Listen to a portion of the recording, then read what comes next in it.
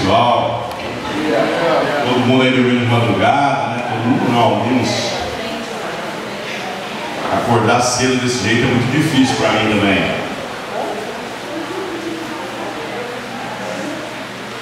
Vamos, vamos prosseguir. Mudou aí, né? Vamos prosseguir dentro daquilo que a gente vem falando, o desafio da gente discernir então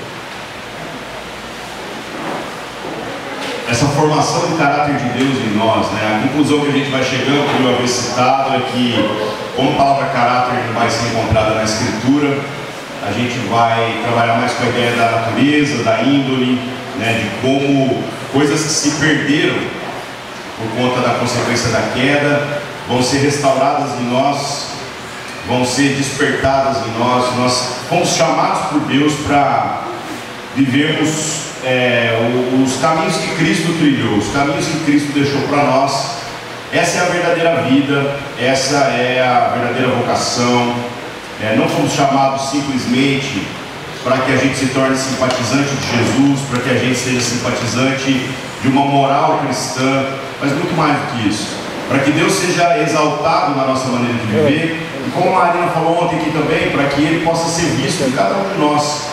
Essa é a proposta do Evangelho para as pessoas, essa é a proposta de transformação do Evangelho na nossa vida, e menos do que isso a gente diz que não é Evangelho, menos do que isso é algo que está muito aquém é, da, da dimensão da obra que Deus quer trabalhar na nossa vida. E, irmãos, a Escritura vai mostrando para nós diversas ocasiões em que pessoas confundiram isso, em que pessoas acharam que podiam obter o favor de Deus, que podiam obter a aprovação de Deus sem um comprometimento com essa transformação de natureza. Muita gente fica vendo o que certas igrejas têm feito de maneira equivocada tentando é, manipular dinheiro, manipular o tempo, manipular o interesse das pessoas em troca de favores e acha que isso é novo, mas não é. E o mais triste é que o nosso coração, quando não está convicto dessa vocação para essa natureza que foi manifesta em Cristo Jesus, e tem que ser manifesto em nós, que esse é o objetivo, a gente pode, ainda que de outras formas mais sutis, tentar comprar o favor de Deus da mesma maneira. Nós negociamos com Deus. Nós, nas nossas orações, tentamos convencer Deus de que Ele precisa se converter à nossa vontade. E você e eu fazemos isso quando a gente faz aquelas orações do tipo: Não, Deus, porque se o Senhor fizer isso por mim, aí eu vou fazer determinada coisa. Se você está tentando convencer Deus de que Ele tem que se converter a você para que você se converta a Ele, você está tentando comprar o favor de Deus.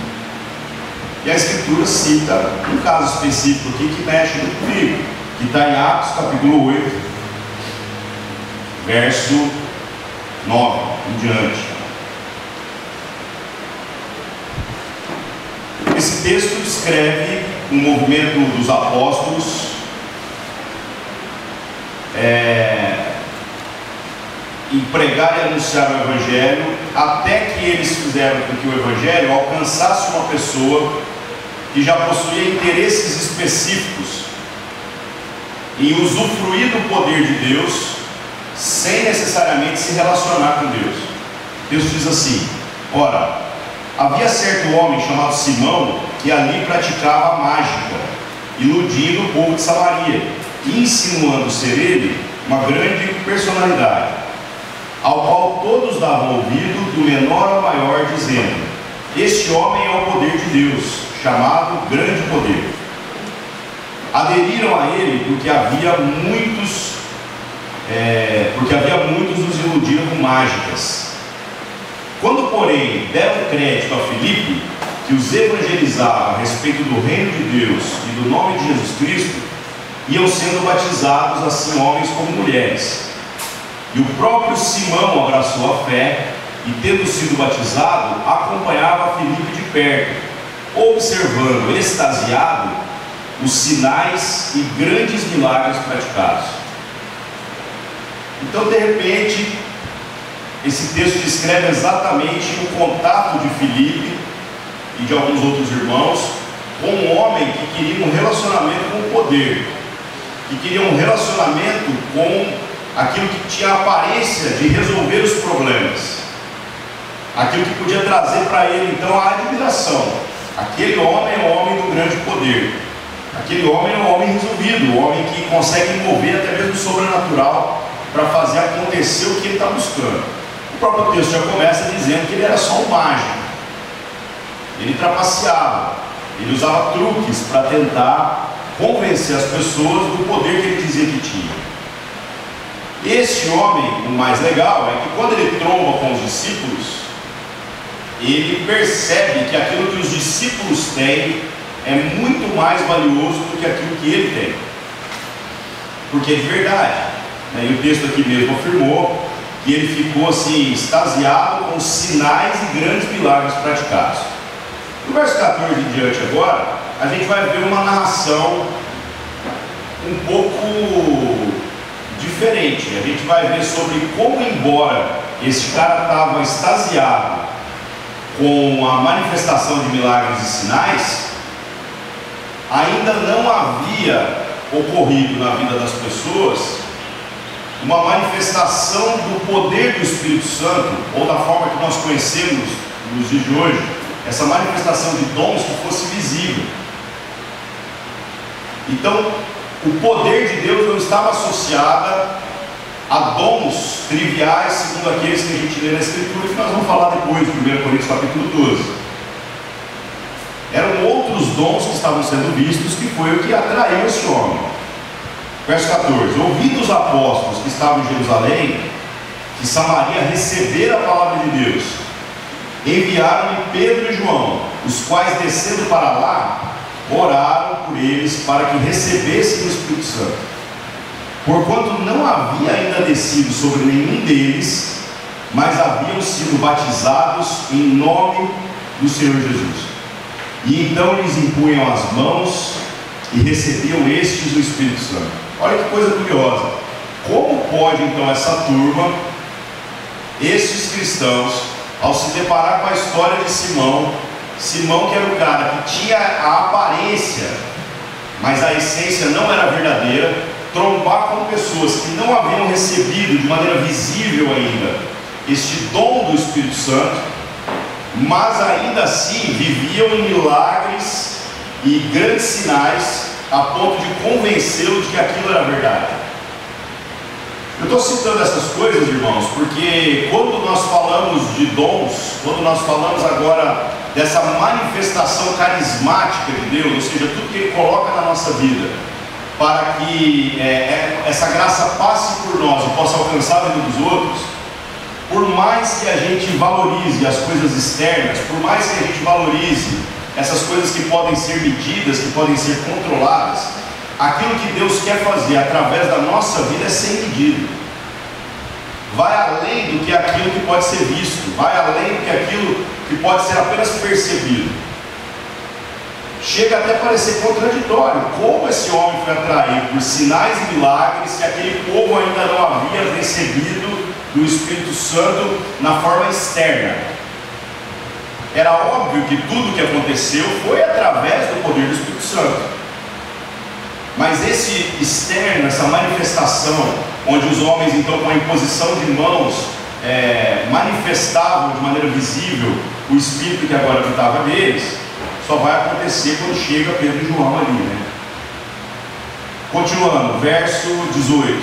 Vendo, porém, Simão, que pelo fato de imporem os apóstolos as mãos era concedido o Espírito, ofereceu-lhe dinheiro, propondo conceder-lhe também a mim esse poder para que sobre quem eu impuser as mãos receba o Espírito Santo.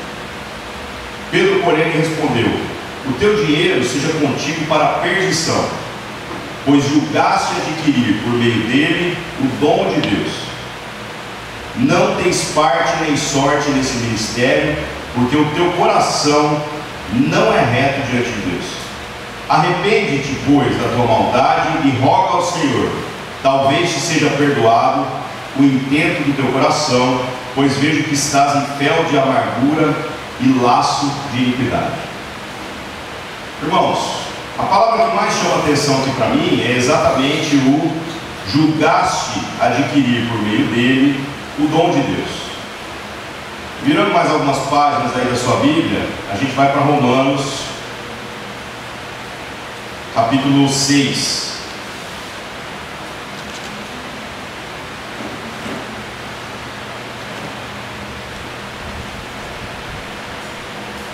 Romanos capítulo 6 vem falar do dilema das naturezas, sobre como nós vivendo agora nessa natureza carnal, cremos numa natureza espiritual gerada em Cristo, e então sobre como essa graça, este favor de Deus por nós, nos desobriga de sermos escravos da nossa própria, da nossa própria natureza, da nossa própria inclinação, do nosso próprio caráter.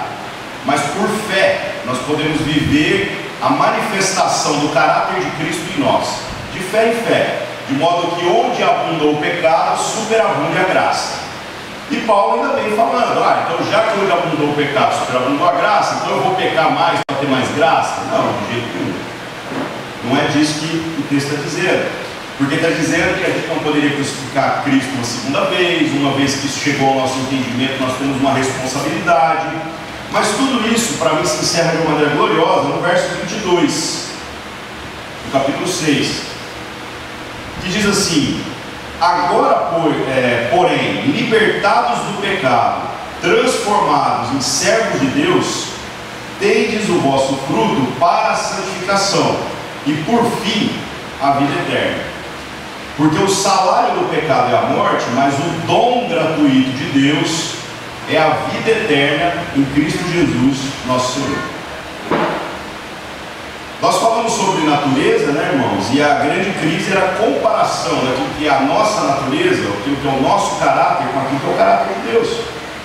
E aqui o texto vem afirmando exatamente isso. Libertados para o pecado, transformados em servos de Deus, nós temos a possibilidade agora de encarnarmos essa nova natureza que tem um objetivo. E o objetivo é produzir fruto para a santificação que vai culminar na vida eterna. Tudo isso, né, mais uma vez está em torno aqui da palavra dom. O salário do pecado é a morte, mas o dom gratuito de Deus é a vida eterna. E o penúltimo texto de hoje, Efésios capítulo 4, que traça um paralelo entre 1 Coríntios capítulo 12, que a gente vai ler em seguida, falando sobre essa manifestação do dom de Deus. O que eu diria é que no fundo, no fundo, se falamos de dons, de carisma, se falamos de manifestações sobrenaturais ou de qualquer outra natureza na vida do cristão, se isso verdadeiramente é pelo Espírito de Deus, nós temos que entender que é um objetivo. E o objetivo é que essa natureza de Deus gerada em nós, este caráter transformado que agora vai ser visível, tem como objetivo a edificação da vida dos irmãos a edificação da vida comunitária. Porque todos os dons não possuem sentido na individualidade.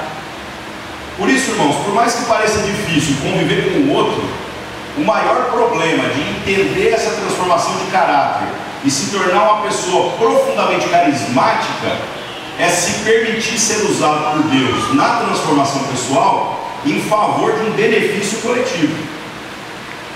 Isso é tão verdade que até mesmo o uso da palavra carisma se tornou diluída de acordo com a ideia de que é aquele que consegue atrair a si outras pessoas. O Silvio Santos é a pessoa mais carismática que eu conheço. Não tem como não gostar do Silvio Santos. Você pode não gostar dos programas dele, mas ele é um cara legal. Você não ouve falar de como ele trata os funcionários dele e você fica fã do cara. Você vê a Maísa puxando a peruca dele e ele não mandando ela embora, porque ela era uma criança, você fica mais fã do cara.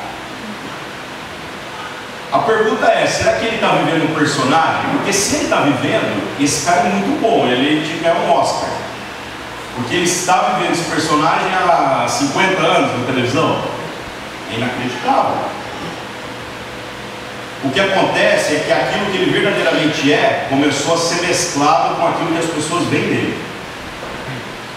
Ah, vamos ser o Silvio Santos? Não, nós estamos sendo chamados para sermos como Cristo. Que a nossa natureza, o nosso caráter seja confrontado com o caráter de Cristo e que as pessoas possam ser atraídas à nossa vida por verem em nós as coisas que elas estão precisando ver em Cristo. Porque Cristo escolheu ser visto em nós e em nenhum outro lugar. Por isso não adianta a anunciação do Evangelho desprovida do testemunho, desprovida do engajamento da vida. Aqui, meus irmãos, em Efésios capítulo 4, a gente vai ver sobre como é, Paulo vai discorrer né, acerca dessa missão de cada um de nós que compreende que é cristão, do converter uns aos outros para que essa natureza não apenas é, transforme o individual, mas seja expressa no coletivo de maneira graciosa. E o paralelo que eu gostaria de fazer é sobre como essa convergência de natureza, essa convergência de vocação, esse chamado de Deus para nós aqui, ele tem tudo a ver com aquilo que a gente vai ler depois, que é o texto mais trivial dos dons, que está lá em 1 Coríntios capítulo 12, que vai falar sobre a diversidade de dons. Eu quero tratar isso porque eu entendo uma coisa. De qualquer dom que a gente poderia receber, de qualquer carisma que poderia haver em nós, não há nada mais valioso do que receber a vida em Cristo Jesus, do que receber o entendimento de que tudo que Ele opera em nós é com um propósito específico e, portanto, independente do que você seja capaz de fazer no nome de Jesus, se você não sabe para que está usando esse dom que recebeu, isso é inútil. Se você se tornou um consumidor de espiritualidade e não uma pessoa que é um canal de bênção para a vida dos irmãos, então você se tornou um inútil. Você não é diferente do Simão mágico. Você não é diferente daquele que tenta tapear o outro usando uma suposta espiritualidade. Porque a verdadeira espiritualidade é se permitir ser transformado à medida do caráter de Cristo e então usar de todos os métodos que Deus colocar, naturais e sobrenaturais na nossa vida, para que Ele seja glorificado e não nós mesmos.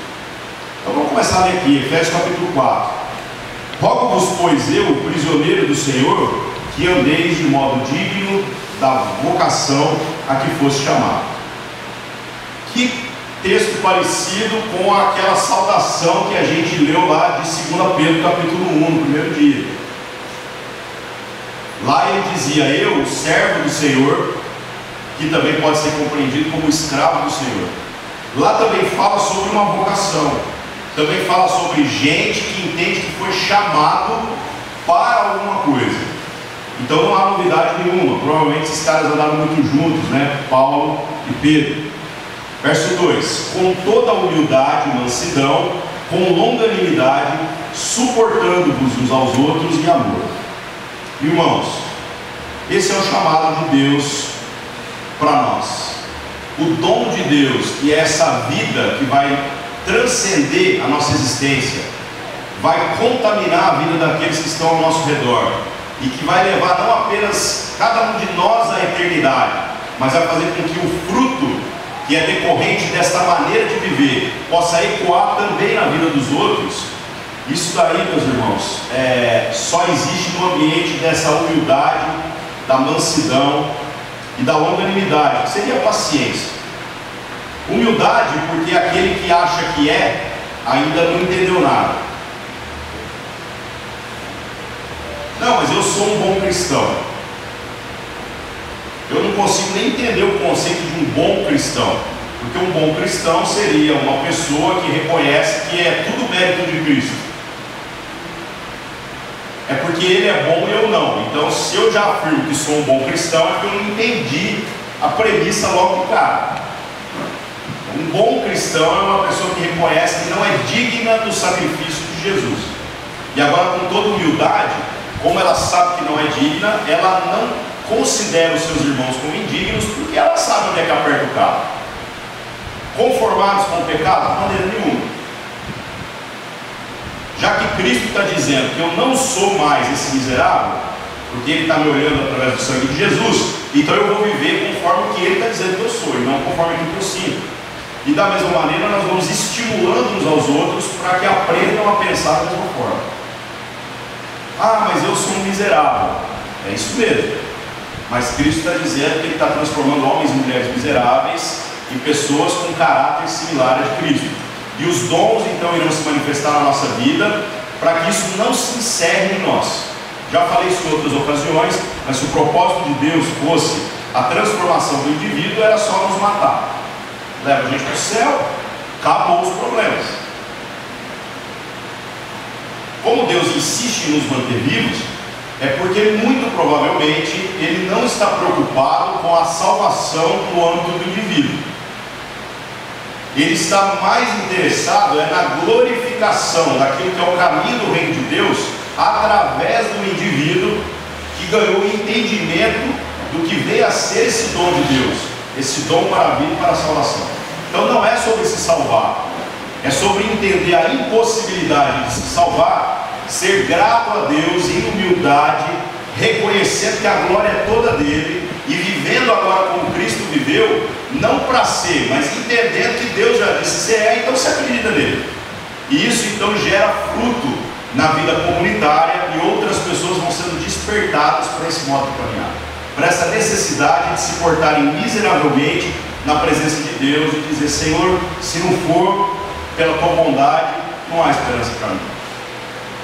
E a gente vai se tratando como uma comunidade dos santos, onde a gente vai cuidando uns dos outros e dizendo: não, agora você é uma mulher de Deus, agora você é um homem de Deus, não pelo que nós estamos vendo, mas pelo que a palavra de Deus vai dizendo e como a nossa cultura, o nosso caráter está sendo transformado. A imagem de Cristo que está revelada para nós aqui na palavra, então nós preferimos o que Deus diz que é verdade do que aquilo que os nossos olhos são capazes de perceber. E vamos pressionando uns aos outros para que essa verdade seja encarnada. Não queremos espiritualizar as coisas da carne, não queremos fazer coisas com a força do nosso braço e dizer que isso é uma vida espiritual, porque isso é burrice. Espiritualizar coisas carnais gera na sua vida um fardo tão insuportável de ser carregado que vai chegar uma hora que você vai espanar. É viver de aparência. Daqui um pouco você não sai mais na rua porque essa rua não é espiritual, porque a atitude das pessoas não é espiritual, porque o carnaval não é espiritual, porque tal comida não é espiritual. Gente, nós não temos problema com coisa não ser espiritual. Nós não temos. Pelo menos não deveríamos ter. Aliás, nesse âmbito não espiritual é que o dom de Deus precisa ser visto. Esse dom da vida. E como que nós vamos fazer isso? Pegando então as coisas espirituais e encarnando elas para que elas sejam percebidas na nossa vivência. Então não é sobre como eu pareço espiritual, é sobre como eu, sendo espiritual, pareço gente. Isso é um dos dons que a gente até vai falar em seguida. Falar a língua dos homens. A gente está sempre deslumbrado com a língua dos anjos, né? A gente sempre quer falar na língua que ninguém entende. E não que isso não tenha valor.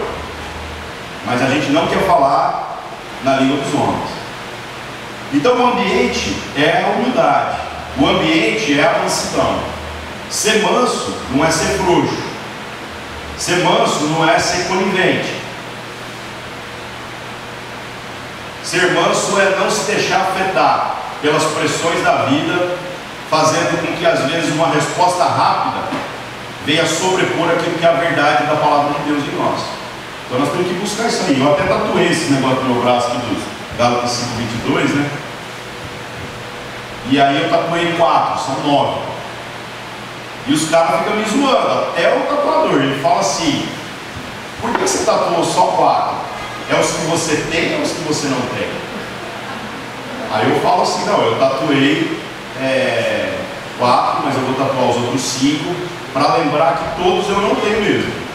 Mas é uma meta a ser perseguida. Sabe, viver com mansidão, com amor, com domínio próprio, por aí vai. Fomos chamados então para a humildade, para a mansidão e a longanimidade, a paciência. Imagine que a paciência de Deus na sua vida agora tem o desafio de ser projetada na vida dos outros. Só isso daí já muda a nossa forma de ser igreja. Porque nós não temos paciência uns com os outros. Imagine que Deus teria desistido de você quando você tropeçou pela milésima vez, que deve ter sido há uns 30 anos atrás, fácil. E no entanto a gente não quer andar terceira ou quarta milha com o irmão. Então essa paciência tem que ser gerada em nós. E o texto ainda termina, no verso 2, suportando-vos uns aos outros em amor. Esse suportar, irmão, é diferente do contexto contemporâneo que a gente lê a Escritura também. Suportar não é aguentar, não, viu? Porque tem gente que acha que é isso, suportar é assim, ah, vou ter que aguentar essa pessoa. Eu suporto por amor do Evangelho. Não. O suportar é de dar suporte. O do suportar é de viabilizar a oportunidade. É diferente de aguentar. Porque aguentar, no sentido de que assim, ah, eu sinceramente não faço a menor questão, mas já que eu tenho que te suportar, então vamos mandar junto. Isso aí está muito mais ligado a, a, ao pecado de você não se envolver do que propriamente a responsabilidade de ser um agente de transformação na cultura. Então, suportar é dar suporte. Suportar é ser aquele que vai prover todas as condições e vai esperar pacientemente, até porque o processo de transformação é de Deus. Verso 3: esforçando-vos diligentemente por preservar a unidade do Espírito no vínculo da paz. Este é o principal foco daqueles que dizem que receberam o dom de Deus, o dom para a vida, e que às vezes a gente não está percebendo. Não, mas eu não tenho que manifestar uns hadouks espirituais, vai sair poderes da minha mão.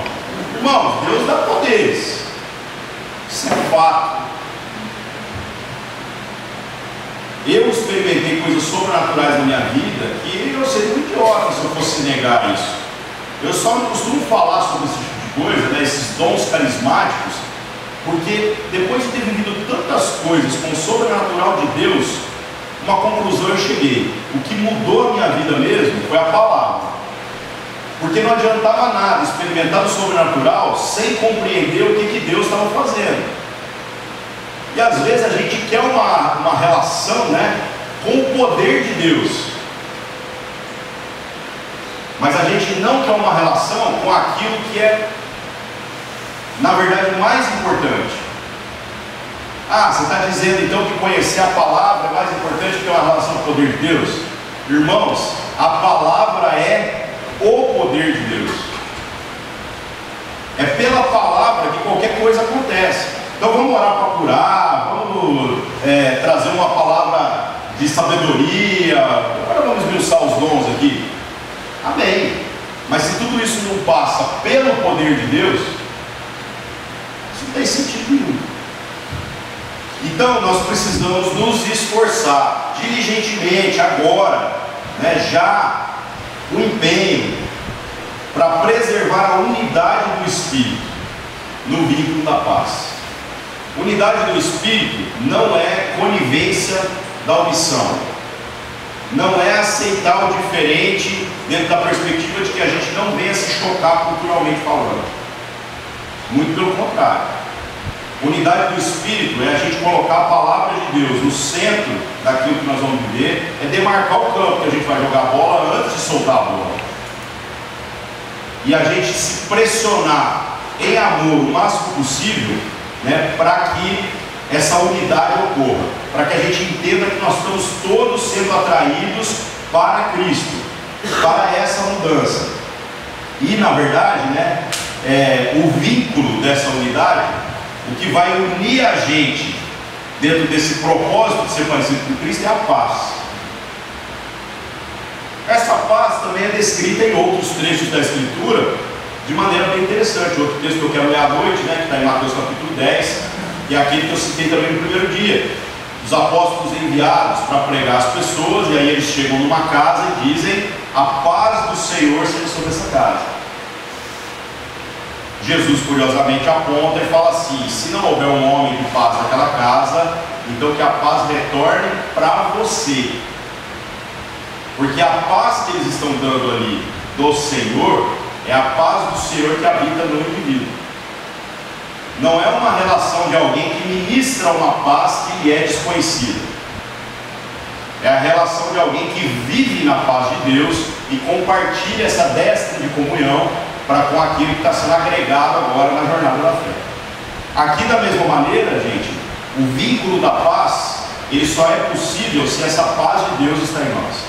Então esse dom de Deus, que é a vida eterna, esse dom de Deus que em tantas passagens da Escritura a gente vai ver Jesus falar, ele vai se manifestar de muitas formas, mas o objetivo é um só. O objetivo é fazer com que a gente esteja convergindo para uma só consciência, uma unidade no espírito, que vai fazer com que as diferentes formas de trabalhar, de viver, os nossos sonhos, os nossos planos, as nossas habilidades, tudo isso colabore com um plano maior. A igreja crescer? Não. O reino de Deus se tornar visível entre os homens. Porque quem dá crescimento para a igreja é Deus, a gente não tem que fazer nada. Aliás, é até o contrário, a gente tem que perceber às vezes o que, que nós estamos fazendo e está atrapalhando o crescimento da igreja. Porque para a igreja crescer, você não tem que fazer nada, você tem que às vezes parar de fazer, porque nós estamos fazendo umas coisas que estão tá atrapalhando igual qualquer organismo. Eu não preciso, por exemplo, anabolizar o meu filho para crescer. Eu poderia, poderia. Só que quando você vai é, usar um processo aí anabólico, né, você vai botar um esteroide lá no menino, o que, que vai acontecer? Lá na frente vai estourar alguma coisa que cresceu fora de proporção. A vida da igreja é a mesma coisa. Então o tempo todo nós precisamos pensar nessa unidade do Espírito nesse vínculo da paz que precisa ser uma realidade na nossa vida. Verso 4: Há somente um corpo e um espírito, como também fostes chamados numa só esperança da vossa vocação. Há um só Senhor, uma só fé, um só batismo, um só Deus e Pai de todos, o qual é sobre todos, age por meio de todos e está em todos. Verso 7 e a graça foi concedida a cada um de nós segundo a proporção do dom de Cristo. Por isso diz, quando ele subiu às alturas, levou o cativeiro, cativo o cativeiro, concedeu os dons aos homens. Ora, quer dizer que subiu, o que quer dizer subiu, senão que também havia descido até as regiões inferiores da terra. Aquele que desceu é também o mesmo que subiu acima de todos os céus para encher todas as coisas. E ele mesmo concedeu uns, uns para apóstolos, outros para profetas, outros para evangelistas, outros para pastores e mestres, com vistas ao aperfeiçoamento dos santos para o desempenho do seu serviço, para a edificação do corpo de Cristo, até que todos cheguemos à unidade da fé e do pleno conhecimento do Filho de Deus, a perfeita varonilidade à medida da estatura da plenitude de Cristo, para que não sejamos mais como meninos agitados de um vento, de um lado para o outro, é, levados por todo vento de doutrina, pela artimanha dos homens, pela astúcia dos que induzem o erro. Mas seguindo a verdade em amor, cresçamos em tudo naquele que é a cabeça, Cristo, de quem todo o corpo bem ajustado e consolidado, pelo auxílio de toda a junta, segundo a justa cooperação de cada parte, efetua seu próprio aumento para a edificação de si mesmo em amor. Irmãos, quando fala aqui né, sobre essas vocações, apóstolos, profetas, evangelistas, pastores e mestres, a nossa visão a respeito desses chamados de Deus para a vida de cada um de nós, ela está tão corrompida, ela está tão diluída naquilo que são as percepções do uso desse, desses títulos nos dias, de hoje, que a gente às vezes está perdendo o foco do que, que Deus está querendo fazer com o dom do Espírito o dom que manifesta a salvação em nós através da nossa própria vida. Lembre-se que Paulo, assim como Pedro, começa a carta dizendo: Eu sou servo de Deus, eu sou escravo de Deus, ou aqui no caso, eu sou prisioneiro do Senhor. O entendimento desses homens é que o chamado para o ministério não era um chamado onde você teria é, imposição sobre a vida de outras pessoas, muito pelo contrário. O maior é aquele que mais serve. E é por isso que eles começam a se apresentar como o menor. Não tem ninguém na sociedade menor que o prisioneiro ou menor que o escravo. E é assim que os apóstolos se apresentam: escravo do Senhor em favor de toda a igreja. Aí, se você olha esses cargos, né, como alguns gostariam de chamar, você vai ver que nós diluímos isso a ponto de perder o sentido. Porque afinal, o que era o apóstolo? Se não uma pessoa que, abrindo mão da sua vida, tornou-se responsável pelo movimento das igrejas de Cristo, a ponto de abrir mão até mesmo da sua, da sua moradia fixa. É o exemplo de Paulo, é o exemplo de Pedro. Gente que não tinha mais absolutamente nada na vida se não cuidar das igrejas de Deus. Então, quando alguém bate no peito para reivindicar um apostolado, essa pessoa não entendeu foi nada. Essa pessoa não entendeu foi nada. Estes homens compreenderam essa vocação e viveram segundo ela. Ah, mas o apóstolo então não é o maior? É, é o que mais serve. Tanto que se você for olhar a história dos apóstolos de Jesus, você vai ver que o fim de todos eles é trágico. O único que morreu mais de boa foi João. Escreveu o Apocalipse, morreu de velho. Mas ainda assim um exílio muito esquisito. Agora o resto, tudo de maneira trágica. Ah, foram pegos de surpresa? Não. Pedro, inclusive, lá na, nas cartas de Pedro, de Pedro, prediz a ideia de uma morte trágica. E Jesus, lá nos Evangelhos, falou para Pedro também. Paulo, então, é pior ainda, né? Paulo, quando tem o seu chamado, Deus já fala para ele assim: Eu vou mostrar para você o quanto convém sofrer pelo meu nome. A piadinha que se fez a respeito disso é que apóstolo bom é apóstolo morto, né? Então você vê um apóstolo vivo aí, cuidado. Mas irmãos, essa função do cuidar das igrejas talvez é uma coisa que nunca acaba. A gente não precisa bater no peito para dizer eu sou. Mas Deus está chamando gente para ser. Ser aqueles que cuidam. Que permitem que o dom de Deus que se manifesta em nós seja para o benefício coletivo. Agora, que o maior entre nós seja o que mais serve mesmo. E aí vai citando os outros, né? É, outros para profetas, outros para evangelistas, outros para pastores e mestres. Para que tudo isso? Com vista do aperfeiçoamento dos santos para o desempenho do seu serviço, para a edificação do corpo de Cristo. Menos do que isso, irmãos, nós estamos fazendo errado.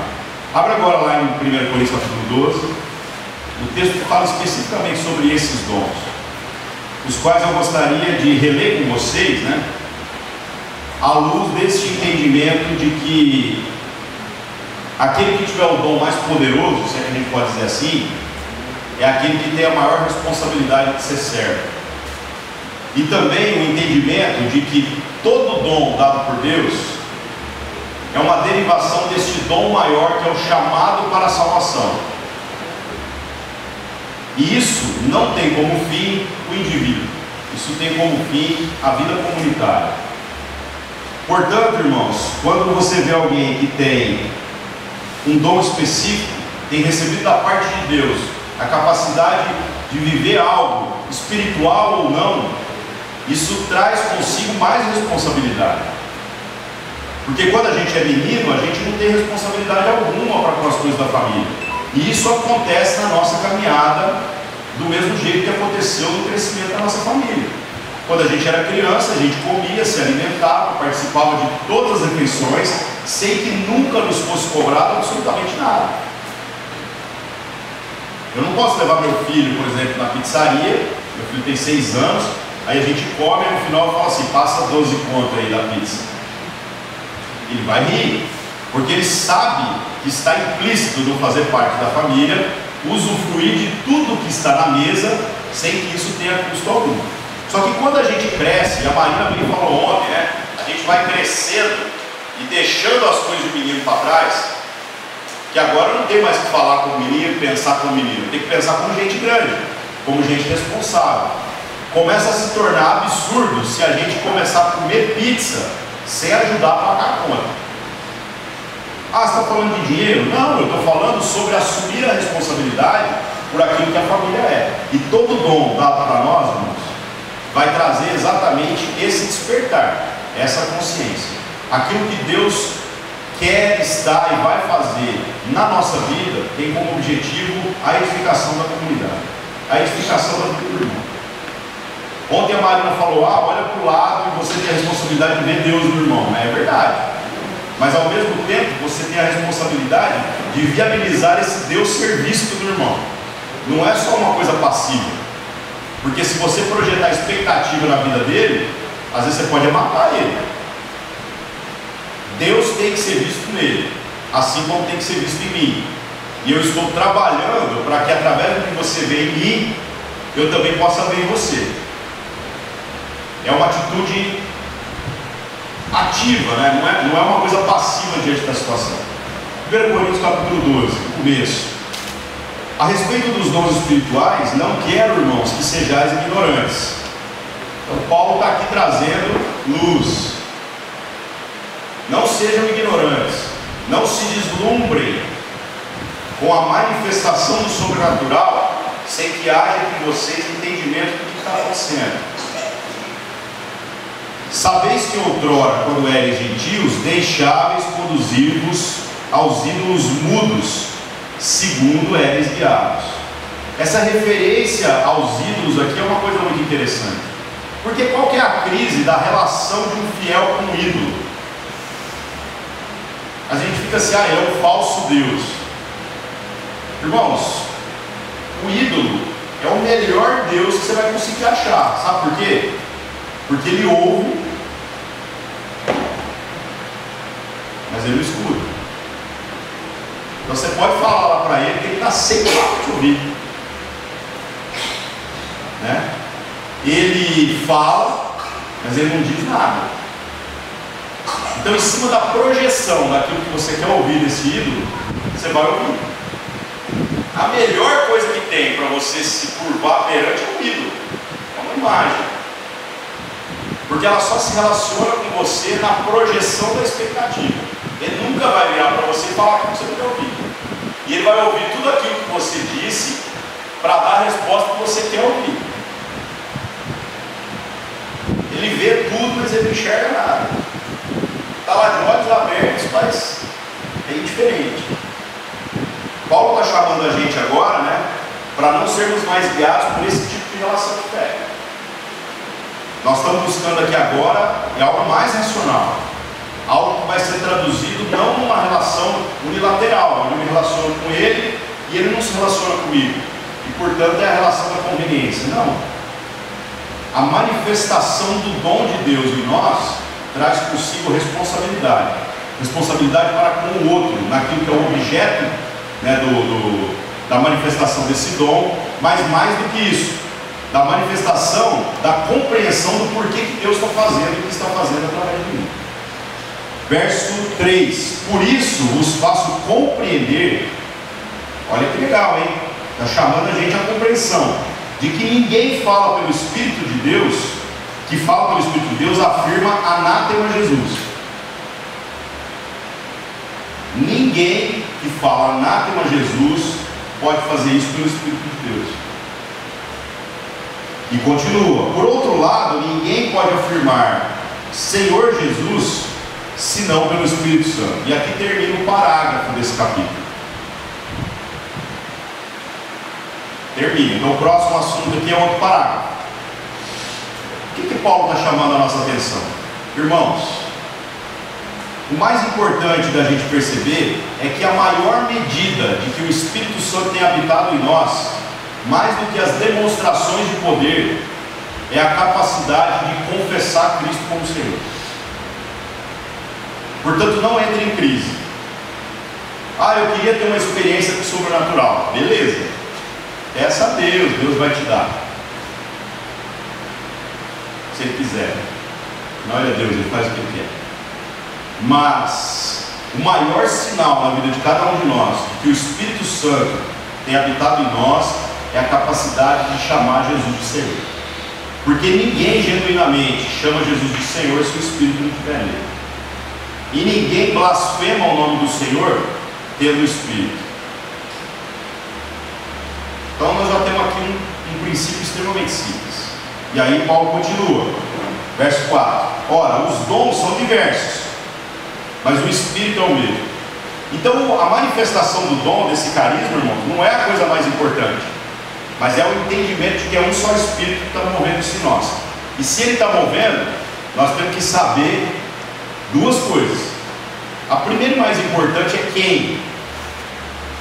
Porque às vezes a gente está tão desesperado para ter uma relação com Deus que a gente está esquecendo através de quem que Deus está fazendo. Já viu o cara que está precisando de uma palavra de Deus, vai procurar um profeta? Irmão, se Deus quer mandar um recado para você, por que, que Ele vai falar através de mim? Não, mas é que o Ari é um homem de Deus. Ué, você é uma mulher de Deus, irmão. De Deus, por que, que não é? Nós podemos juntos buscar uma direção de Deus, mas eu acho que o que Deus tem que falar com você, embora Ele pode usar até a mula para ensinar o profeta, Ele tem que falar para você.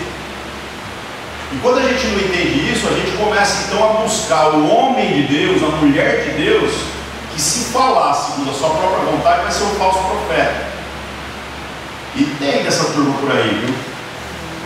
Mais importante então, o primeiro é quem? Da onde está vindo isso? Porque você mesmo não está buscando isso de Deus. E o segundo é o para quê, não o que. O como Deus vai falar até que não interessa. Se Deus já usou até mula para falar, se Jesus falou e se a igreja se calasse, as pedras iriam clamar. Então, o como não interessa. A pedra fala, a mula fala, qualquer um fala, até a gente fala. Mas o para que é importante. Qual é a, conclusão que a gente tem quando a gente recebe alguma, alguma revelação da parte de Deus? Isso é algo que traz conversão, no sentido que estamos convergindo para uma só verdade, para uma só palavra, para um só Espírito? Ou isso é algo que está apenas tentando agradar a vontade do meu coração? Verso 5: Também há diversidade nos serviços, mas o Senhor é o mesmo, e há diversidade nas realizações, mas é o mesmo Deus é que opera em tudo e em todos. A manifestação do Espírito é concedida a cada um visando um fim proveitoso. Porque a um é dada mediante o Espírito palavra de sabedoria. Irmãos, para que serve palavra de sabedoria? Mais legal no texto aqui que não fala nem sabedoria, fala palavra de sabedoria. A palavra é a encarnação de uma coisa espiritual traduzida num código que pode ser compreendido pelo outro, que é a fala. Então essa palavra é para ser repartida. O gnosticismo se tornou uma corrente muito perigosa nos primeiros anos do cristianismo, quando tentaram anular a personalidade de Deus e colocando Deus como uma ideia de conhecimento. E muitas pessoas tropeçaram exatamente nessa coisa tão simples, de achar que o propósito máximo da fé em Cristo era se tornar sábio. Irmãos, essa sabedoria que não se encarna e abençoa a comunidade não serve de nada. O próprio Salomão, né, que foi considerado, aí, segundo a Escritura, o homem mais sábio ali da sua geração, diz que aquele que busca sabedoria atrai sobre si muitas dores. Porque à medida que ele foi sabendo e aquilo lá ficou maior do que ele conseguia repartir, ele entrou foi em angústia. Ele entrou foi numa depressão, ele entrou numa crise existencial. Então nós estamos buscando o que, irmãos? Palavra de sabedoria, a sabedoria que se traduz em palavras, ou só adquirir conhecimento para nós mesmos. Há outros, segundo o mesmo Espírito, palavra do conhecimento.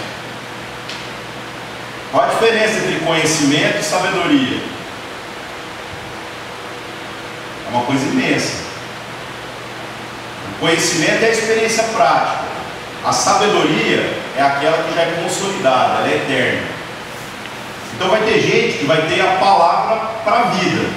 E vai ter gente que vai ter a palavra para a eternidade. Como essas duas coisas precisam dar juntas? Como a gente precisa o tempo todo estar tá conferindo, por isso que a gente faz conferência, né? A igreja faz uma conferência e a gente fala assim: ah, para quê? Mais uma conferência. A conferência é para a gente juntar e conferir se aquilo que você está vivendo está de acordo com aquilo que outros irmãos estão vivendo. Mas nós precisamos conferir se essa palavra, né, desse conhecimento, dessa prática, está de acordo com essa palavra de sabedoria. Por isso, aquele que tem sabedoria sozinho não é nada, ele depende do irmão que tem conhecimento. E ainda vai citando outros aqui, né? É, há outro no mesmo espírito, a fé. Por que a fé? Porque de que adianta saber se você não crê? A fé é essa moeda mais valiosa naquilo que é a jornada com Cristo Jesus. Nem de sabedoria não precisa, mas fé precisa muito. Você nunca vê Jesus falando assim: a tua sabedoria te salvou, o teu conhecimento te salvou, só a fé. E a outro do mesmo Espírito, os dons de curar. Irmãos, dom de curar, coisa linda, né? Aquelas coisas que todo mundo já sonhou em ter. Você já viu que a palavra fala de dom de curar, fala de manifestação de cura, né? Mas será que você já prestou atenção em quando esse dom de curar não funciona? Porque isso é que sempre mais me intrigou. O primeiro que não funciona é o curar a si mesmo.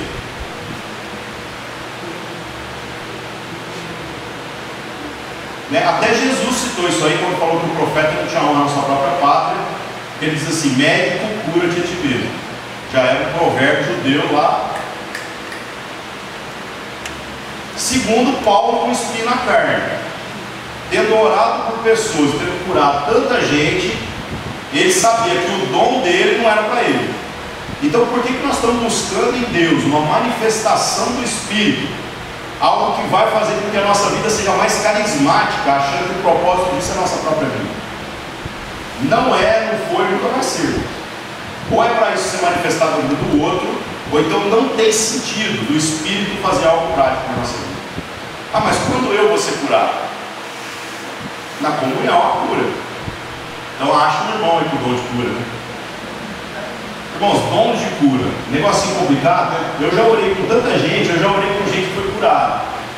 E eu já orei com gente que não foi curada. Aí a conclusão que eu chego é assim, velho, esse dom de cura é massa né? mas é dom de Deus, porque uma coisa eu sei, eu não tenho controle.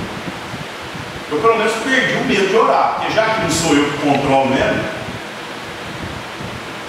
então bora, vamos orar. A gente já orou por gente que teve a saúde restabelecida e a gente já orou por gente que morreu naquela semana. E como é bom saber que essa manifestação do dom de Deus, como era para repartir ali uma cura, nos dois casos a cura chegou e quem morreu está curado não tem mais problema nenhum. E pela maneira que recebeu a palavra que foi ministrada ali, vou falar, eu acho que a cura é maior que aquele que viveu. Então nós não temos crise da manifestação desse dom. Agora, se eu tentar domesticar esse dom, botar ele na coleira e dizer que eu é que sou a pessoa que é o habilitado por Deus para ministrar o dom, eu não entendi que foi nada. Porque os dons estão aí, mas é para o outro, não é para mim. Então nós vamos orar, nós vamos interceder, nós vamos impor as mãos uns sobre os outros, nós vamos chorar juntos, nós vamos clamar para Deus.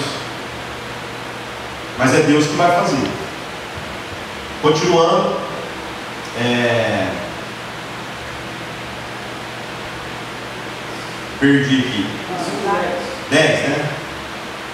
A outra operação de milagres, a outra profecia, a outro discernimento de espíritos, a um variedade de línguas e a outra capacidade de interpretá-las. Mas é um só Espírito que realiza todas essas coisas, distribuindo-as como lhe apraz a cada um individualmente. Irmãos, operação de milagre. O que é uma operação de milagre? É bem amplo isso daqui, né? Eu poderia listar dezenas de milagres que eu já presenciei. Sobrenaturais e naturais. Eu vou falar para você, às vezes os ordinários me surpreenderam mais do que os extraordinários. Porque é um milagre uma pessoa ir contra a natureza e a inclinação da sua carne e dizer assim: Eu vou fazer aquilo que a palavra de Deus está dizendo. Esses são os que mais me constrangeram na vida. Mas Deus faz também o sobrenatural. Profecia, irmãos. O que é profecia? Paulo depois vai enfatizar tanto isso daqui, dizendo que de todos os dons, o que a gente deveria buscar mais ardentemente é o dom de profetizar e como a nossa relação é uma relação de consumo, como que as pessoas projetam um negócio de profetizar, né? Ah, tem um profeta aqui. Eu vou lá, por quê? Porque eu quero receber uma palavra de Deus. Irmão, você quer receber uma palavra de Deus, a palavra de Deus está aqui. Porque se alguém trouxer alguma coisa que não está aqui, é falso profeta. Certo? Então o que é um profeta? O profeta, você pode olhar todo o Antigo Testamento, você vai ver que é a mesma lógica. Ele vai pegar aquilo que é a vontade de Deus e explicar de maneira clara para o povo. Ele denuncia. Todo profeta da Escritura é óbvio, é redundante, fala aquilo que todo mundo já sabe, mas não quer ouvir. Todo profeta é odiado. Você vê um profeta hoje que é aclamado, desconfie. Tem alguma coisa errada. Paulo disse que de todos os dons que a gente deveria buscar, o dom de profetizar com certeza seria o mais valioso. E é exatamente isso que todo cristão foi chamado para fazer. A gente tem um relacionamento uns com os outros e com a Escritura, para que essas coisas simples que vão entrando na nossa vida possam ser traduzidas de maneira simples e de uma maneira que denuncia também o pecado, que denuncia é, a realidade que o mundo está distante de Deus na nossa maneira de viver. Todos nós somos chamados para profetizar. E profetizar, irmãos, é trazer a palavra de Deus, a vontade de Deus ao conhecimento do povo. Para de pensar só no místico. Deus faz o místico, Deus de vez em quando faz. Mas como eu falei, duas coisas são importantes de se saber. Quem e por quê. Como não? Como não interessa. Deus faz o jeito que ele quer. Ah, então Deus está usando o Leandro. Beleza. Quem é ele? Por quê? Por que ele? Por que Deus não falou comigo? Isso tem que ser questionado. Irmãos, nós somos profetas dentro da lógica que temos que levar uns aos outros. Deus pode mover o sobrenatural e dar uma palavra? Pode, irmãos. Ele faz. Mas quando a gente não sabe viver essas coisas ordinárias, a gente não vai ter nem sensibilidade para perceber o extraordinário. E depois né, encerra falando da questão das línguas, da capacidade de interpretá-las, e como eu disse anteriormente, é isso que Deus tem nos chamado para tentar viver. É não apenas se deslumbrar com falar coisas que as pessoas não entendem. Então, se Deus tem te dado desse espírito, desse dom, não, seja livre. Mas considere o que Paulo está dizendo. Como o fim é a edificação do corpo, mais importante nos nossos dias do que falar a língua dos anjos tem sido falar a língua dos homens. Tem sido falar em palavra compreensível aquilo que pode abençoar a vida do irmão. É o carisma lá do Silvio Santos que eu estou falando. Você pode não gostar dele, mas você entende perfeitamente quais são os valores da vida daquele homem. Agora você recebeu da parte de Cristo uma vocação muito superior. Uma vocação de ser o representante de Deus na terra ser o Filho de Deus visto, ser aquele agora que abriu mão da sua inclinação para viver a encarnação do caráter de Cristo. Então, como que todos os dons que têm sido colocados na sua vida, que na verdade é um só, né? Esse dom para a vida eterna, tem se manifestado. Na arrogância de tentar mostrar para a pessoa que você possui algum poder, ou na humildade de manifestar às pessoas alguma coisa que você entendeu que deve ser repartido para que ela abençoe também. Então isso vai fazer toda a diferença na nossa vida. O último texto, irmãos, é aquele da. Nem apanhei aqui que já chega, né? Quando Jesus cruza com a mulher samaritana no poço de Jacó.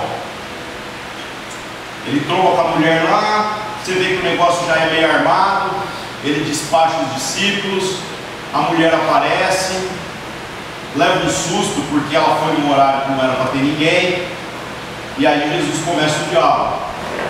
Ah, me dá água para beber, né? E a mulher no maior sufoco, meio-dia, tirando água do poço. Né? E aí ela pergunta, ela fala assim, pô, quem que você acha que você é? Judeu, que não pode falar com o samaritano, porque a gente não é o povo digno. Quem você acha que você é para me pedir água? E a resposta de Jesus é extraordinária. Ele diz assim: Se você soubesse quem eu sou,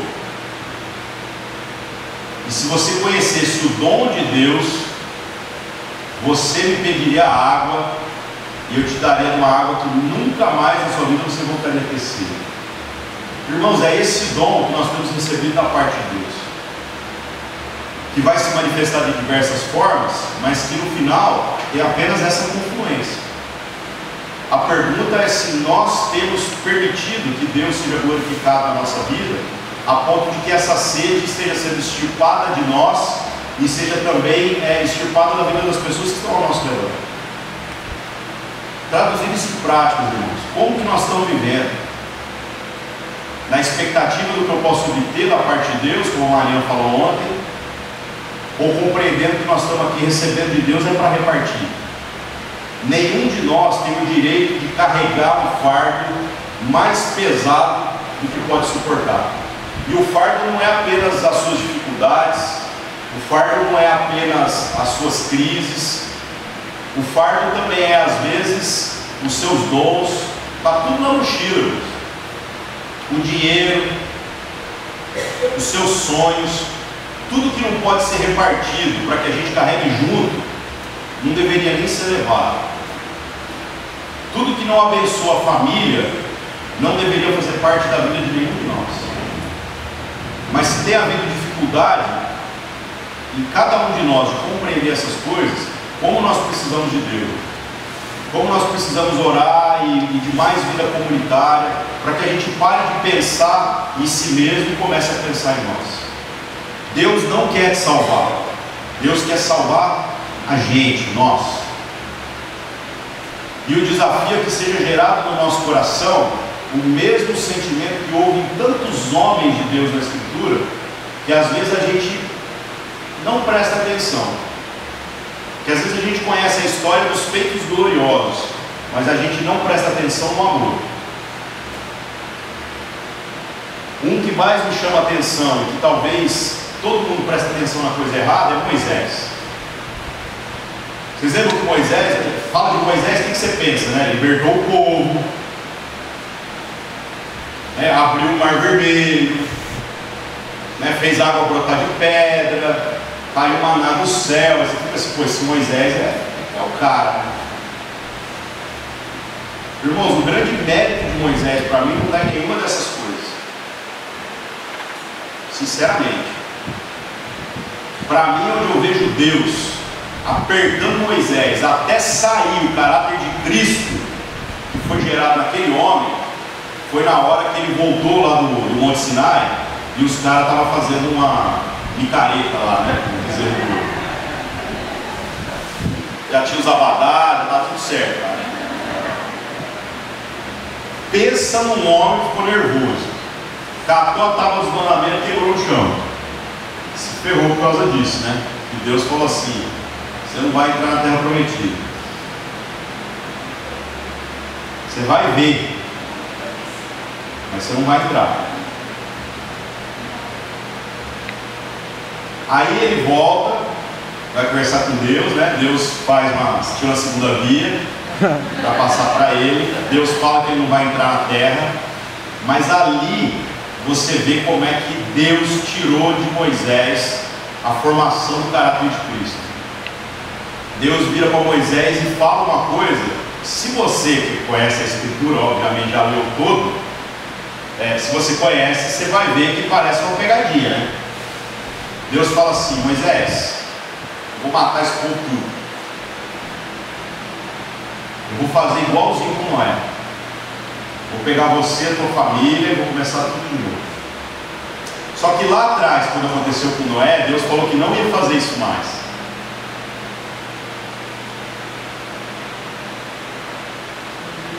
Aí você fica assim, pô, mas o que Deus está falando? Você falou que não vai fazer. O legal é que ele não fez mesmo. Então Deus não mentiu em nada, viu? Mas quando ele falou isso para Moisés, falou assim: vou matar esse povo, né, e vamos começar do zero. Moisés se coloca diante de Deus e fala as frases mais legais da vida dele. Ele diz assim: Senhor, é o teu povo.